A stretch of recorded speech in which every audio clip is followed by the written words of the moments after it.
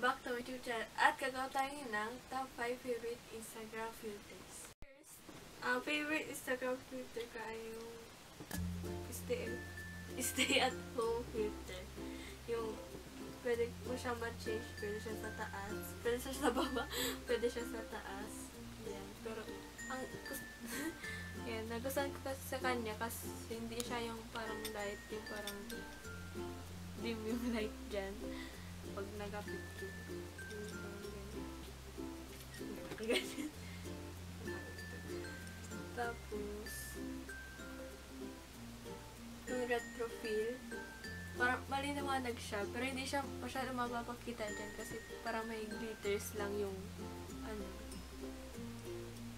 Pero ipapakita ko yung picture ko dyan.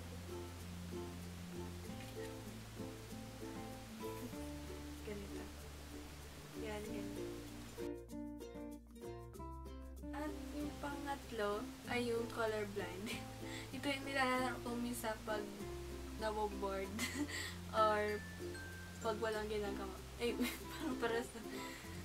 Tapos ito yung yung riddle. Hindi ko siya mapapakita kasi yung parang sasagot ka tapos i-record mo siya.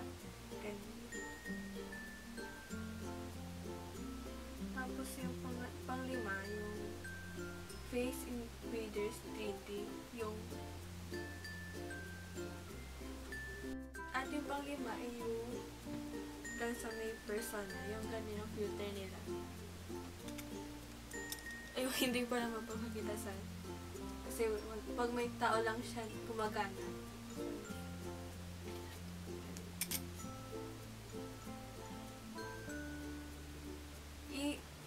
Lalagay ko sa screen yung mga pictures ko na gamit yung mga filters.